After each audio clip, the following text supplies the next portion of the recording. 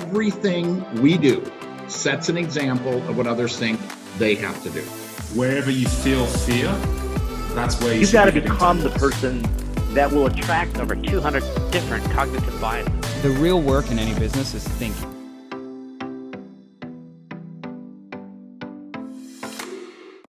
Well, hey, everybody, welcome to the FLW podcast. I am Cody DeGraff here with my co host, Gabriel Klingman. Hey, what's up, everybody? Thank you so much for taking the time to check this out. This interview is going to be epic. Just a quick reminder if you can hit that subscribe button, it would mean the world to us.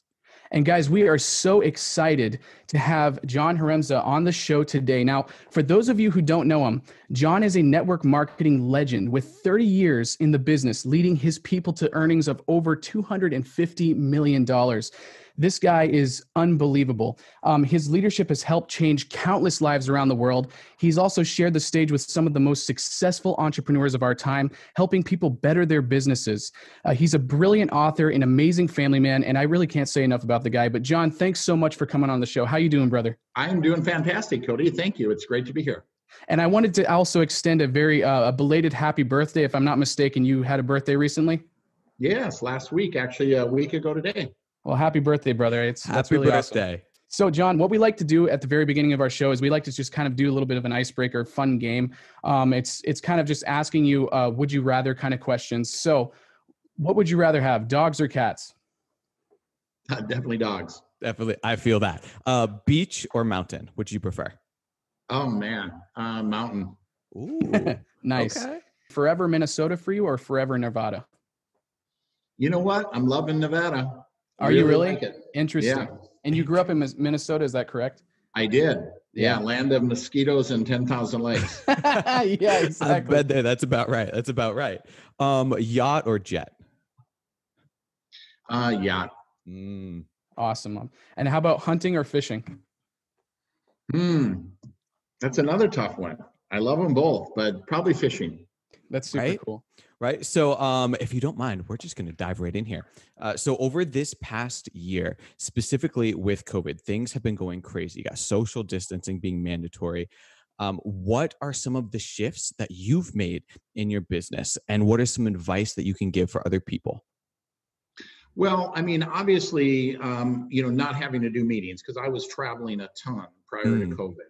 Yeah. and you know making that immediate shift uh, to zooms and so with i was just telling somebody this um, earlier today how here i'm not traveling and i am so unbelievably busy because i'm doing you know instead of doing two zooms a week i'm doing four or five zooms a day Mm. um, you know three ways and and of course also embracing you know social media uh, more social media more of the digital platforms i think that's becoming a bigger and bigger part of what we do uh, don't of course we'll never forget the fundamentals of of you know people buying people and that human interaction Mhm. but getting information to people utilizing tools more the apps um, but primarily the biggest the biggest shift is um, to you know online meetings online events online conferences online everything Mhm. zoom Fantastic. Um, with uh, actually, kind of take this in a different direction. Would you be able to share a little bit of your story on how you came to be uh, the network marketing guru that you are?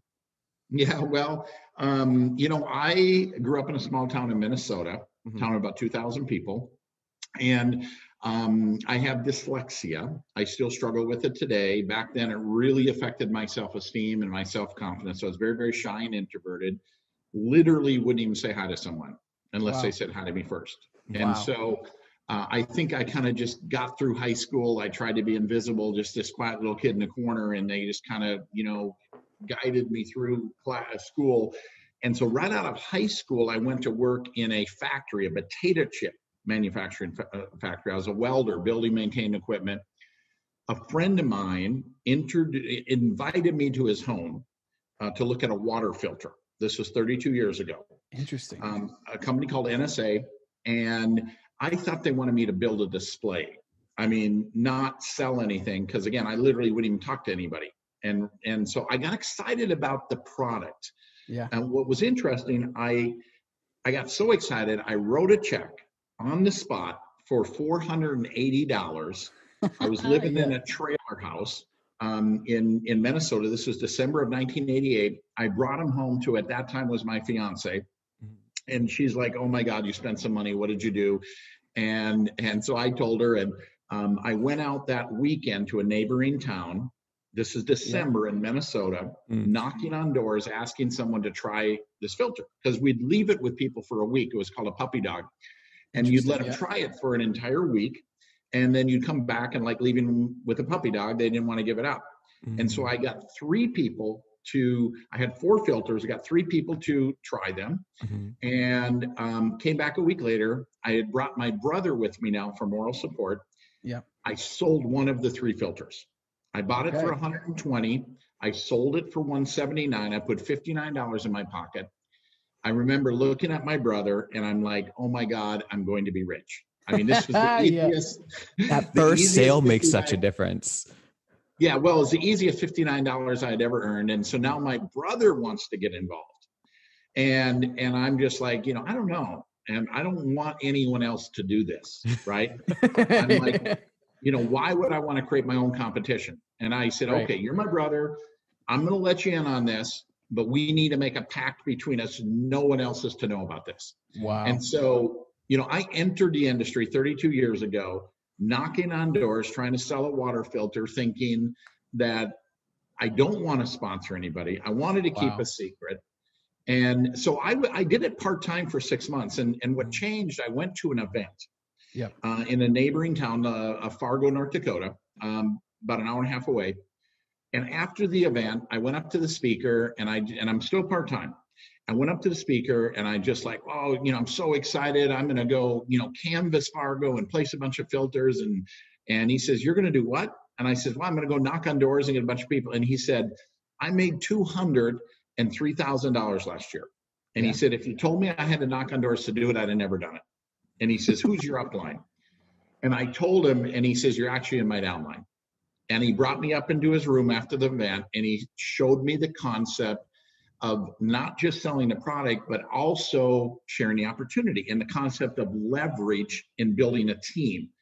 And I left that with a complete paradigm shift, completely changed my focus. A few months later, I ended up going full time. I became a national marketing director in that company, which was second from the top position um, in 16 months. And I was there for four years. And, you know, in that four year window, you know, I made about $400,000, which coming from $9 an hour is pretty life changing. That's a huge difference. Yeah, yeah, and and I mean, just opened up a world, yeah, you know, personal development. I mean, it was said to me um, a long time ago, and I remember it. You know, network marketing is a personal development program with a paycheck. yeah. right. Wow. Yeah. So true. Yeah, so that was my entry, and I, you know, um, realized I wanted a consumable product to build more of a residual. Uh, I wanted something a little bit newer, and and earlier in the growth cycle, the company was going through some challenges, and and so you know, the next company I was with, I I ended up being there for 12 years, um, and then the company got sold, and then it got merged and sold again, and I just lost my belief. And at the end of the day, I mean, that's what I tell people is probably the most important element for your success. It's belief, right? People buy people. Yeah. And and I lost my belief. And that when you don't believe in something, I mean, everything has its ups and downs and hiccups and hurdles, and and you have to be able to weather the storm and, and move through that. But you know, sometimes it reaches a point where where where there's no return in your own mind. And I'd reached that. And so then I um, joined another company and I spent the next 12 years there. And that's where I made my first really big money. I actually made $10 million there. Um, and then I ended up having a, a major issue uh, that affected my trust with the owner and, and, and led me to where I am today. And so, you know, I came Wow. from small town of Minnesota, Mhm. learning disability, trying to keep network marketing a secret, not wanting anybody Yeah. else to do it Yeah. um, you know, having, you know, been with four companies, but it's been, every experience has been phenomenal. Yeah. Um, I've had great success in every one. And, you know, to date, you know, a little over 24 million in earnings. dude it's and it's amazing and congratulations on your success you're you're such an inspiration to so many people and um and with that being said i wanted to talk with you a little bit about some of the books that you've written um you've Okay. written a phenomenal book um that's that just kind of talks about um the average, basically the difference between phenomenal success and average success. And uh, it's, I believe the title of that book is Right or Almost Right. Can you kind of share a little bit about that book? Well, I, I think the inspiration, you know, behind the book was, you know, having, you know, traveling all over the world, Mm. um, you know, talking to people. And, you know, I find very sharp, you know, talented, hardworking people seemingly doing everything right, but yet mm-hmm. they're struggling. Yeah, And so the question is, were they doing it right or almost right? interesting. Right. Yeah, and and and so it, it as you said it's a very fundamental book and it takes everything that we do on a daily basis and to grow our business to grow our leadership to grow our teams and it talks about what you're most likely doing and the little adjustment you can make that can make all the difference and i think this is true um, i I had one of the best compliments from my daughter you know because she read the book and she says dad you know this this is a life book this this can help you with life yeah, um, but as a specific to network marketing, all of these things that we do, you know, Yeah. from the way you do a three-way call to the to you know telling your story to follow up to you know spending time with the right people, making big biggest mistakes you make. I mean, the whole thing from A to Z, dissecting everything you do, helping you make little adjustments that can make a major difference, you know, Wow. in in what you do. yeah. Love that. so good. Absolutely love that. I also wanted to chat with you about um, your newer writings, which is the network marketing in the new world. Can you kind of share a little bit about that book and the inspiration behind that as well? Well, um, the world has changed. The world has changed forever, and so many people, I think, are are froze. They're stuck in the old world, resisting change, resisting the new technology, uh, and and so it's really a book to help not leave behind because I really emphasize the fundamentals are the fundamentals are the fundamentals. Okay, Yes, I mean there are some things that will never change. We're a people business, right? Of course. right. because I see other people shifting too far, right, and to Yeah. the digital side, to the to to if you take out the human element, right, Mm. if you if you eliminate that, what do they need us for, right? If it's all Mm, about yeah. you know, um, if it's all 100% digital and we take out what we do, right, as people buy people, so it's it's really a book to help take the new world in the digital world and how you add it to the fundamentals of what we do and will never change. That's amazing. okay. That's amazing. Would you be able to Yeah. So- break down a few of those uh tac those techniques and tactics on like what recruiting specifically looks like in a digital world? That's the thing that's really confused. That's really been difficult for me to grasp. Well, I think the biggest thing there is putting the human element into it, right? I Yeah. mean, and and you, you take and and let's you know we have you know and a lot of companies have apps today, right? Yeah. And this is true in the physical world and in the digital world.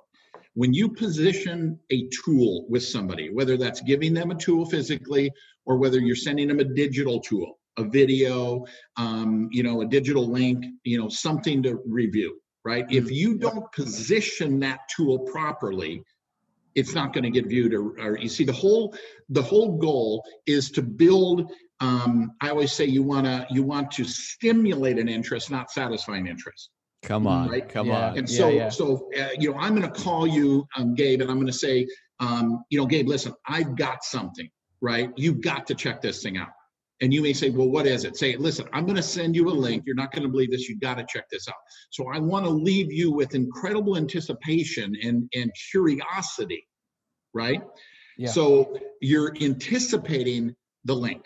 You're anticipating, I can't wait to see what he's talking about here.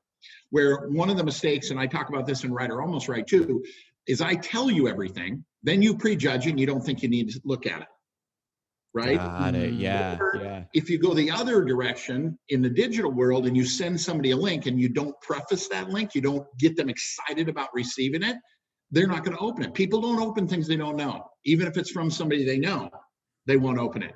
But if I and I and I tell you up front, you know, Gabe, listen, you're going to need to you're going to need to put your name and your email address in here, and that's going to give you access to look at what I'm talking about, right? Where if Mm. I don't if I don't do that up front, you're going to open it up. If you do open it, you're going to open it up, and it's going to ask you for your information, and you're going to freeze right there. I'm not doing this. 100%. wow. But if I get you, um, if I if I set that stage, then you open it up and you say, "Oh, John told me I was going to have to do that to actually see what he's talking about." Right? So part of the old world, the new world, the digital world, it's the way you. The mistake people make is they just try to send some send stuff out without positioning it. Does that make sense?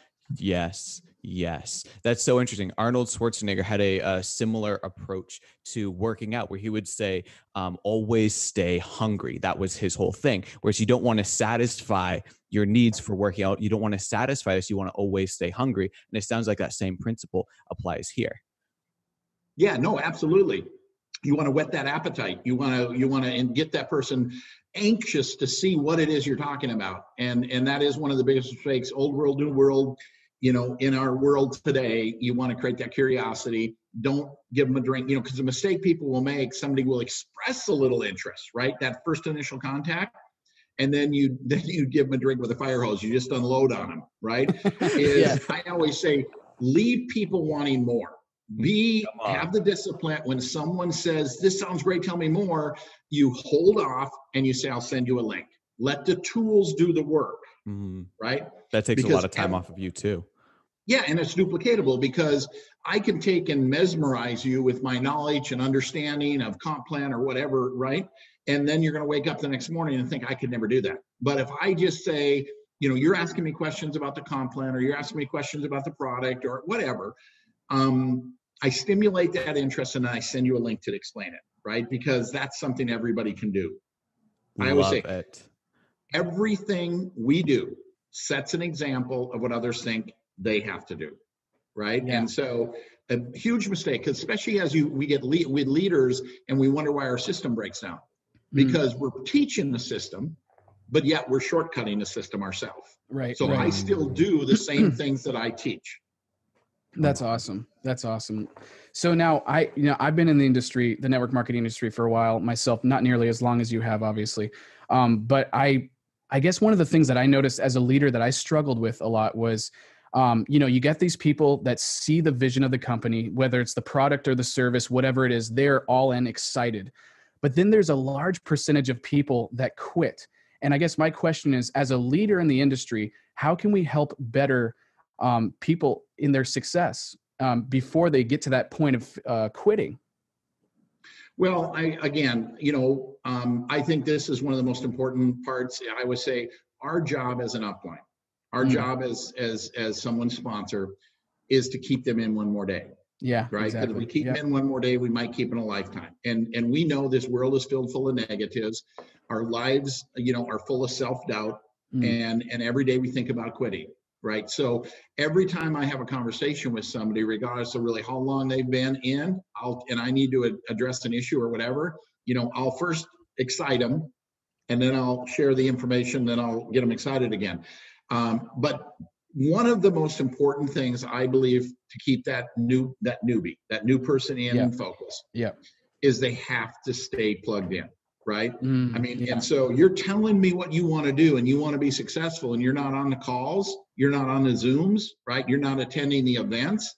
Um, you're going to disappear, and this yeah. is true. Yeah about everything. I mean, you mentioned working out with Arnold Schwarzenegger. I mean, you know, you you you say you're going to work out, and you work out great for a week, and all of a sudden you take two weeks off.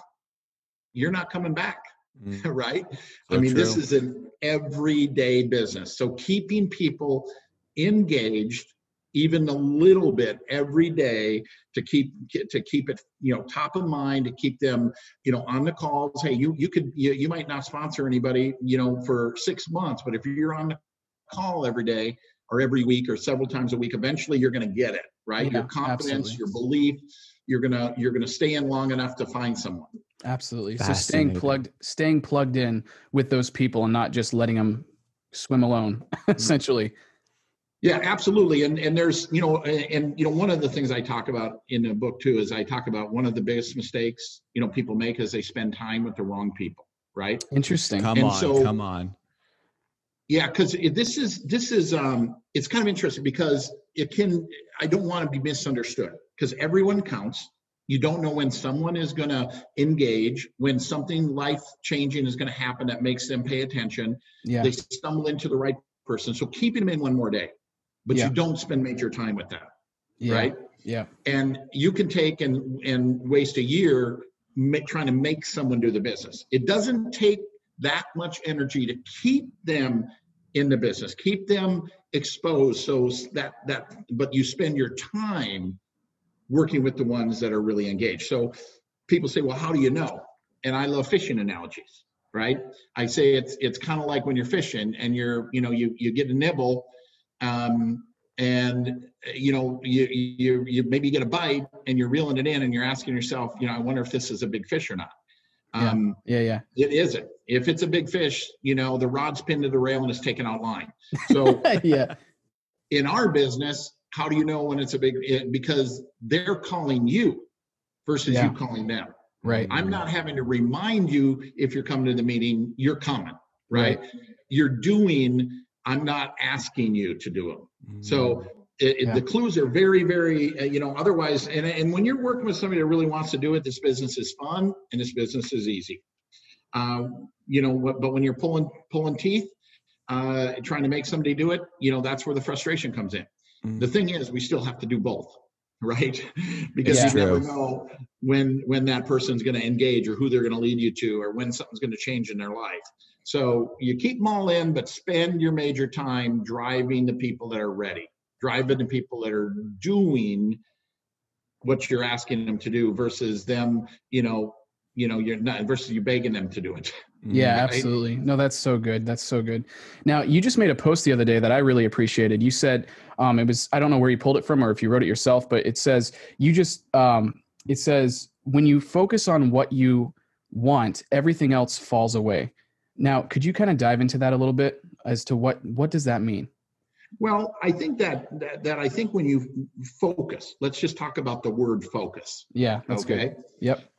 Focus is one of the most powerful words there is. And and the problem is a lot of people think they're focused. But whatever it is you're actually focused on will become your reality. And this you Yeah. can you can look at anything in your life. I don't care if you want to buy a new car, you want to buy a new refrigerator, a new outfit.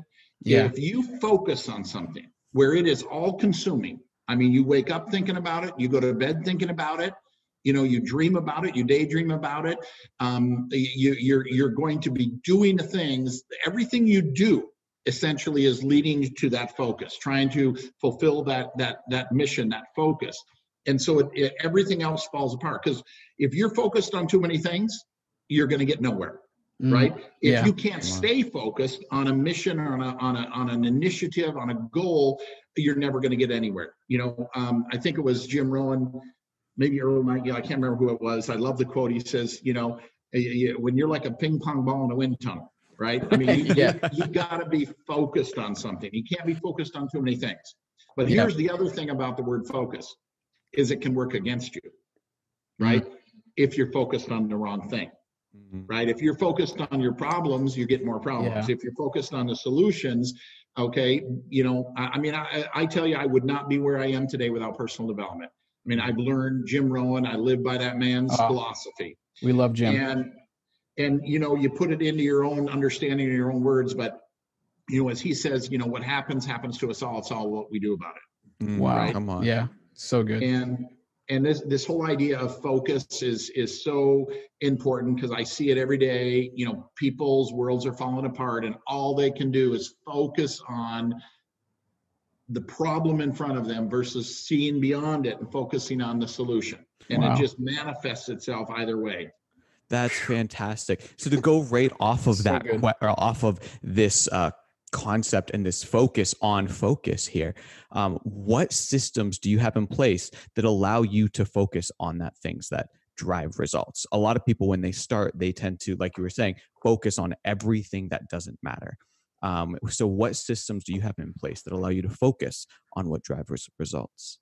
Well, um, you know, and I'm sure you've heard the you you know heard the term DMO, right? Your daily method of operation, Mhm. right? Y- You know, Jim Rohn talks about most everything in life. I mean, there's a million things we could do, but there's a half a dozen that really make the difference, right? Yeah. So whatever it is, identify what that half a dozen things is, and, and focus on it, right? So we know that um, number one thing that needs you need to be focusing on uh, is personal development Oh, right. Yeah, absolutely. and uh, you know you have to become worth it right one of my mentors said once wouldn't it be a shame for your business to grow and you didn't Mm, Mm. Come on, come on. And so you have to focus on personal development every day. I tell people personal development is like bathing. You know, I mean, Yeah. if you don't do it every day, you're going to start stinking, right? be And if you don't yeah. do the personal de- de- de- development every day, your your mindset's going to get affected. Your your you, you know self doubt's going to sink in, and and you know it's it's self destructing, right? So personal development. Um, another thing you have to focus on look, I mean, the only thing that will grow any one of our businesses, okay, is new people, Yeah. right?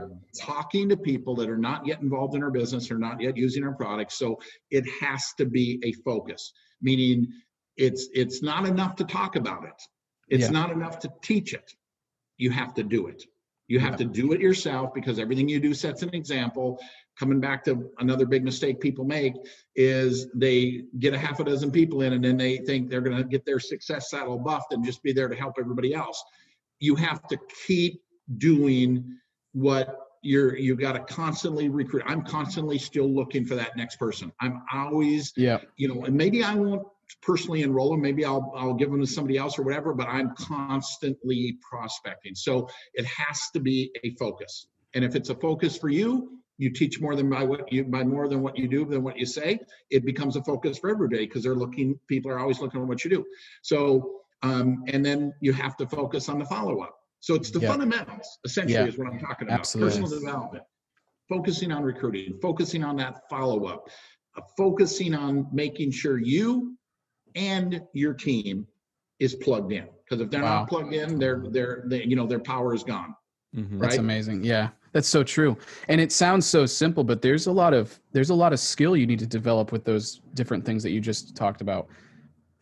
It's yeah, no, absolutely. And and one of the other words I love, and I talk about it almost. uh, You know, sometimes I tell people I'm I'm like a broken record. I mean, I just keep beating the fundamentals. but know, it's a I- damn good know, song though. Yeah, exactly. Yeah, and that's you know what? When you hear a great song, you don't listen to it once and think, "Wow, that was fantastic," and never listen to it again. You listen to it again and again and again. Yeah. And Come and on. so one of those things that I constantly preach is, you know, is focus. I take mindset, consistency, right? Yeah. I mean, this if you're not consistent, you're starting over all the time. Yeah, Right? I absolutely. mean, I if there if you look if uh, what probably what I'm known most for is is consistency. I mean, I just keep stepping up to the plate. Well, it explains why you're literally the like one of the top, probably the top network marketers in the entire world. so it makes sense. Um, now, on the uh, concept of personal development, you know, what are some of your favorite techniques that you would do that you would uh, go about maybe in your day, or just techniques in general that kind of help you maintain that positive mindset? Because you know, life hits us real hard, and we have to be on the stage sometimes, speaking in front of people you know maybe you can throw some techniques at, techniques at us or you know how does that work for you Well, I mean, again, coming back to uh, it needs to be a focus, right? Yeah, It needs yeah. to be something you do um, ideally every day, right? Just like you know, it, it becomes a habit, a fundamental. It, it, you know, just like brushing your teeth or whatever. It, it's part of something you do, yeah and it doesn't take much. I think the key to it is finding the venue yeah right and the and that that you identify whether maybe for for me it's listening okay Yeah, i love audio that's right good whether yeah now it's on my phone if i'm out for a hike if i'm driving um you know if you know sometimes because and I, this is going to lead me to another major point but but for me it's listening. You know some people it's reading some people it's watching. I like watching as well right? But listening is probably and and repetitive. I just keep listening to the same stuff and you i mean i can listen to jim rohn again. I've listened to him a thousand times. If i listen to him once i can listen to the same program and i'll get something completely new out of it yeah. right? Because I'm. I'm at a different level and, and so I'm gonna understand it differently. Um, so yeah, I think it's, it's finding who you really love, who you really identify with and, and, and then that repetition. yeah that's so good That's fantastic. so, with this um, role on personal development that we're in, uh, one of the biggest hiccups and biggest challenges, specifically with network marketing, is dealing with rejection. So, what are some of your favorite techniques that you've used and you've dealt with to come over and to deal with rejection? Well, I, you know, from a standpoint of, um, let's say you're prospecting, let's put it in, in a real life scenario Yeah. and, and people are, um, rejecting you, um, rejecting network marketing, rejecting your product. Um, you know, whether it's I can't do this. Uh, you know, one of the things that that I have found to deal with people and their negative attitude towards something or their their rejection of something is you know i use the feel felt found to move someone past it right? Feel you know? found. um so so you know because the mistakes you know people make i think and this again i this is these are these subtleties right? You tell me nobody makes any money in network marketing or i can't sell or you know uh, whatever the you know i don't know anybody whatever it is. And and i start arguing with you okay? When you argue with somebody they shut down completely right? Their Yeah. defenses come up and you're and you you've lost them okay. Yeah. the feel felt found so basic and fundamental and so you know gabe you're telling me you don't have any time and i you know and i say well you have more time than you know and blah blah blah and you get defensive right? i say i know how you feel Wow. okay so now what i've just done is i've agreed with you okay Yeah. you can't argue with somebody you agree with Right. and I say, I felt the same way. Okay. And now I empathize with you. Okay. So now you don't even know this is happening. Okay. I've disarmed you by agreeing with you. You and I are alike by empathizing with you by saying, I felt the same way. And now you're curious. Okay. Here you are. You know how I feel. You actually felt the same way, but yet you're doing it. You don't even know this is happening to you, you know, mm-hmm. but yet you're doing it. What, what did you find out? Feel, mm-hmm. felt, found. I know how you feel. I felt the same way. What I found out was is network marketing actually gives you time because of the leverage you can get through the efforts of other people. You know, Wow. what I found out was is if I don't change something, I'll never have any time. Okay, Mm. so you, you can take, you know, I don't have any money, I don't have any time, I can't sell.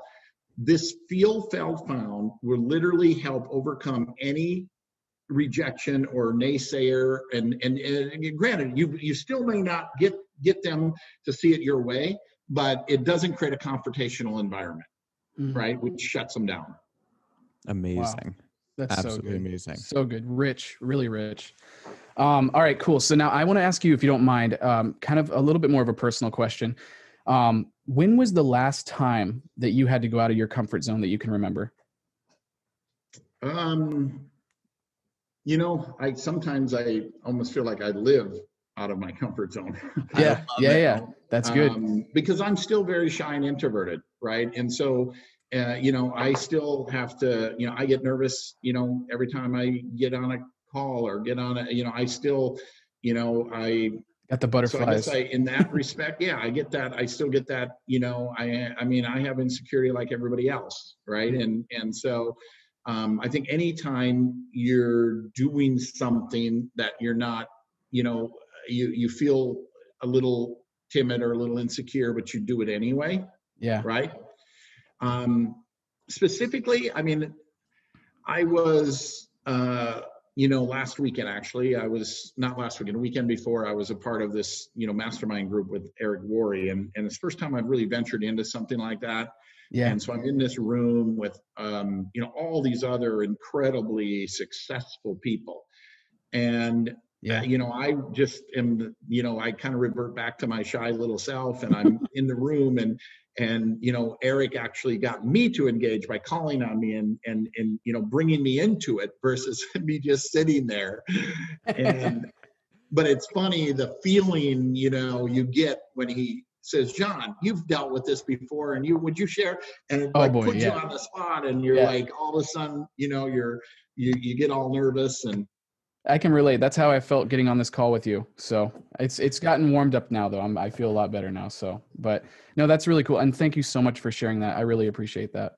So I want to take this uh, and go into a different question. I am continually fascinated by people's why, the why they do what they do. That is the most fascinating thing out of almost anything to me.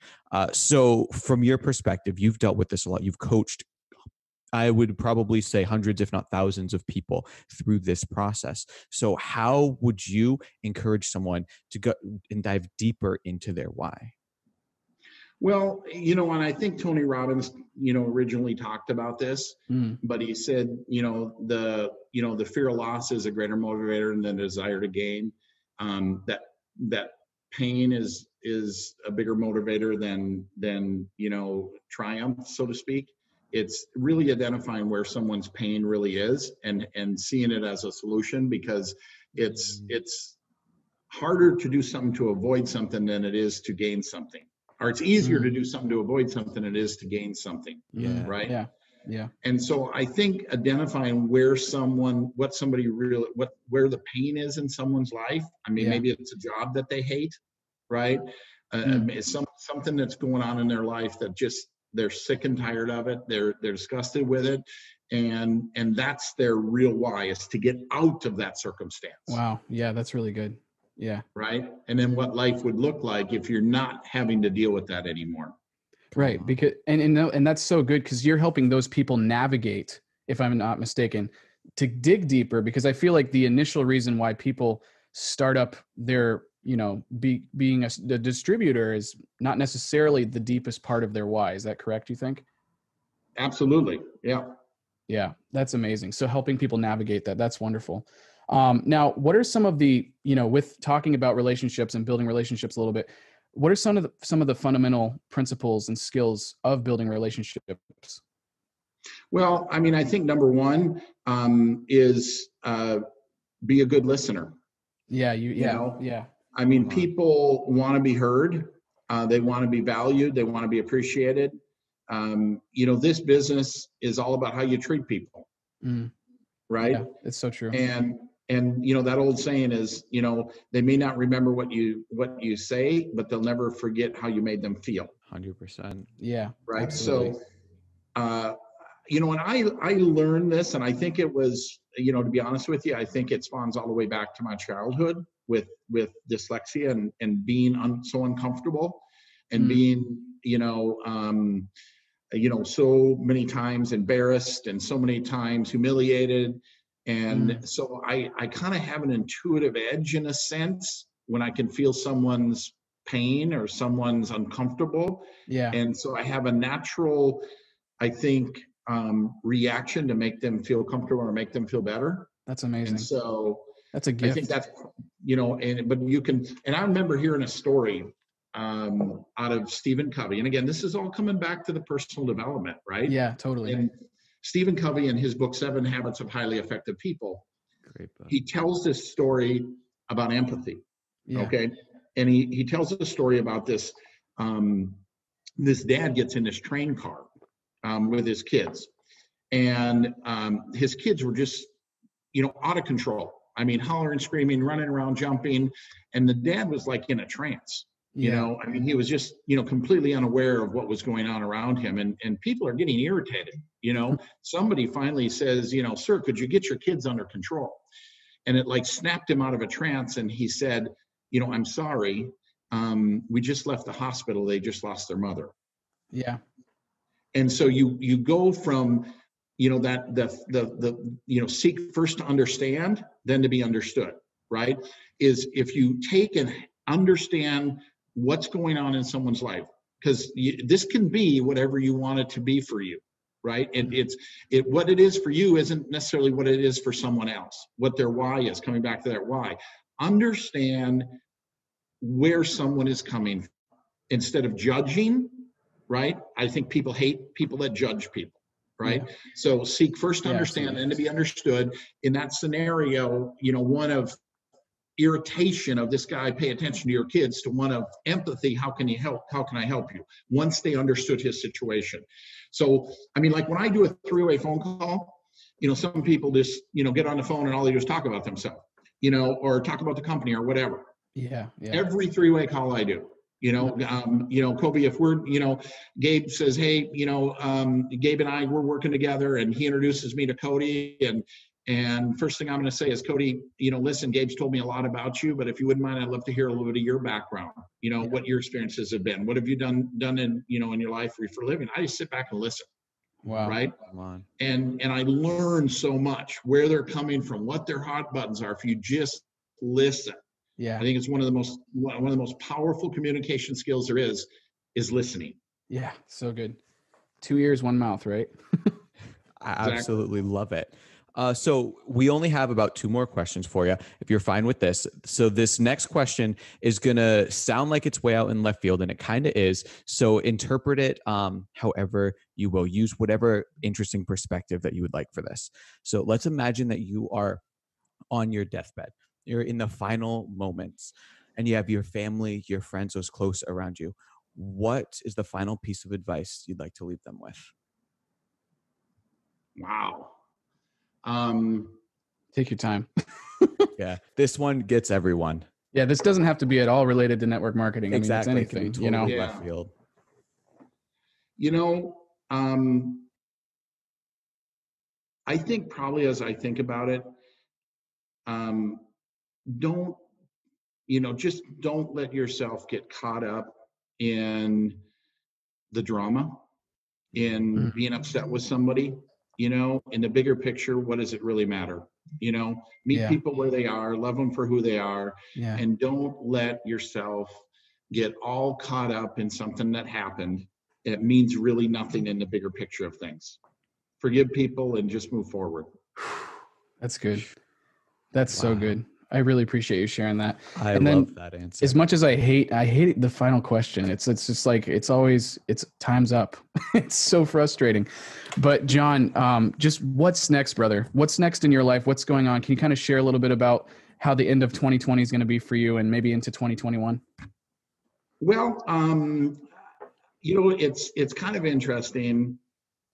You, you know, Jeff Roberti, I'm sure you know who he is. Yep. Um, yeah. Yeah. One of the, I think, all-time ever um, top earners in the industry. You know, 110 million or something earning, and he's just he's, uh, you know, I've gotten to not like we're friends any, but we're you know I know him. He does probably know who I am, and he said something about um, you know on this mastermind. He came in virtually, and he said rather than retiring, I refired. Instead Wow. of retire, I refired. That's so good. I love that. I guess that's the way I feel right now. I love this industry, and I guess for me, I want people. I'd love. I want to. Um, I love doing the business. I love the Yeah. people. I feed off of it. I love seeing people come out of their shell and transform into somebody powerful that they never thought they could be. Uh, so I want to do more of that. Uh, I also really believe that I have some value Yeah. uh, to give to people um, in my in what I've learned, in what I've written, in the tools that I have, and and and I, I it's going to be a focus. It's going to be a focus to try to, you know, I've not been the best promoter in the world. You know, I struggle with self promotion. I I I uh, uh, and and it's an area I'm going to work on is trying to get people more aware of some of the stuff I have because I think it can really help. Oh, yeah, you have absolutely. some great value, my friend. And and again, I want to remind everybody that's listening to this podcast or watching this podcast that you can find John's books in the links below. Um, and John, I really hope that you do self promote more because you have some serious golden nuggets uh, that you've not only shared with us, but in your books. I've read um, your most recent book, and it's phenomenal. Absolutely Mm, thank you. phenomenal, dude. And uh, and I think that people need to hear that because you got a lot of people that are scared with this transition with the pandemic right now. That book is perfect. So. Yeah. Um, but dude, I really Much appreciate having you on. Yeah, we really appreciate having you on the show. Thank you so much for your time, as it's so valuable. Yeah, I really appreciate it. And everyone watching, you go ahead and show John some love if you got any value at all from this. And it's impossible that you didn't hit that like button, comment here, show John some love.